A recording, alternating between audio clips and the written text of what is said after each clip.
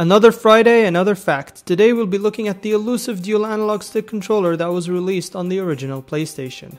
Before the DualShock, the dual analog stick was the first official controller on the PlayStation that supported analog sticks. Prior to that, players would have to endure with the standard D-pad controller. The dual analog sticks did not feature the rubber top and instead were plastic with a curved grip, which was later adopted by the DualShock 4. The controller first launched in Japan in April 1997 with two games, Tobal 2 and Bushido Blade. While it did support vibration, the feature was omitted in Europe and USA due to manufacturing reasons.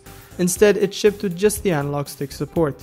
The DualShock was eventually released that year in November 1997, making the dual analog stick a weird and rare collectible item. That's all there is today, but make sure to check out the last Friday Facts episode talking about the PlayStation prototype. This was Rashid, the Arab gamer, gaming from the Arab world, Ya Aziz.